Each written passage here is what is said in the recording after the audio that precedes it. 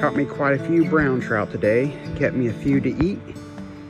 And if you guys want to see the full episode, check it out on my YouTube channel. It'll be out in about three weeks or a couple weeks.